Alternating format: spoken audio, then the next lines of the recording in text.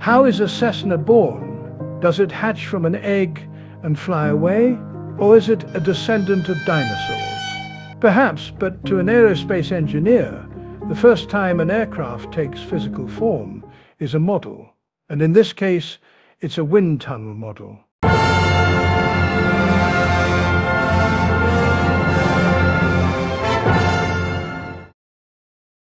Our goal is to design and manufacture a low-fidelity wind tunnel model to compare its performance characteristics with an existing dataset for the actual airplane that it's based on. Using section views and known dimensions for the Cessna, we were able to reverse engineer its geometry and also create 28 SOLIDWORKS errors.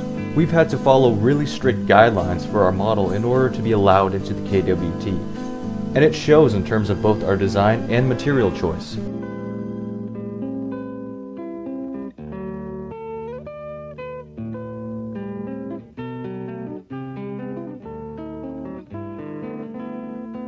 The main body of our aircraft is made out of pine wood with internals such as 4140 alloy, 4130 alloy, as well as lots and lots of aluminum. Original load estimates suggested that at 90% of the KWT's maximum speed, we'd be reaching lifts on the order of 200 pounds for each wing.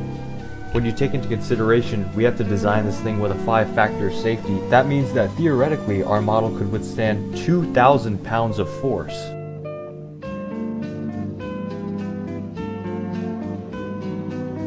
And due to complex geometry and shipping issues, most of our parts ended up coming in mere days before our KWT testing.